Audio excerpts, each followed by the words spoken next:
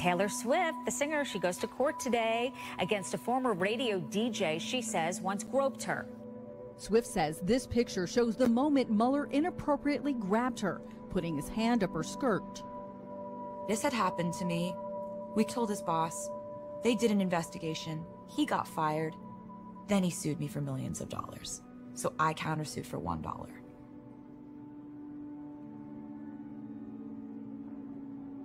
You walk into a courtroom, and then there's this person sitting in a swivel chair, staring at you like you did something to him. The first thing they say to you in court is, Why didn't you scream? Why didn't you react quicker?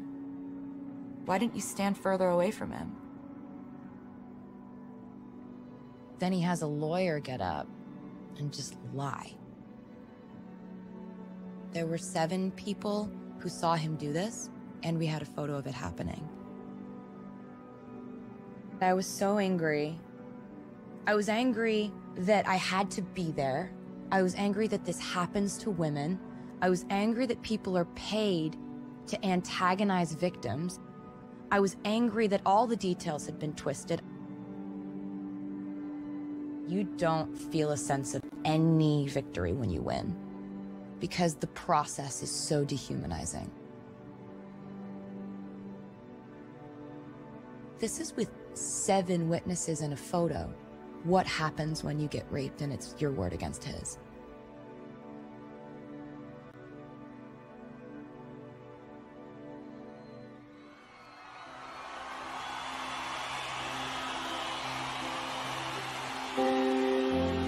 So, um, I just wanted to, just kind of looking back, um, this exact day a year ago, um,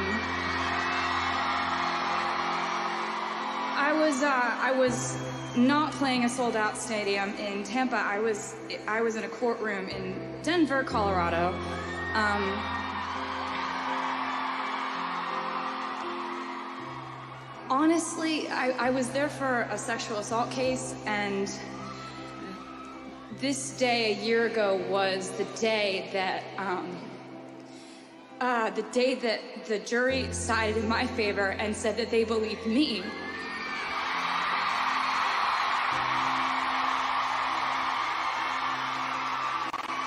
I guess I just think about all the people that weren't believed and the people who haven't been believed or the people who are afraid to speak up because they think they won't be believed. And and I just I just wanted to say that um I just wanted to say I'm sorry to anyone who ever wasn't believed because I don't know what turn my life would have taken if somebody if people didn't believe me when I said that something had happened to me. So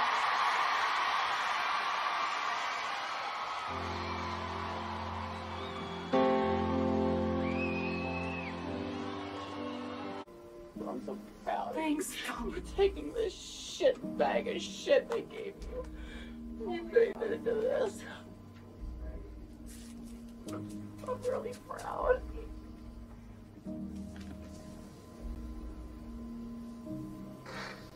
It's okay now. I look good.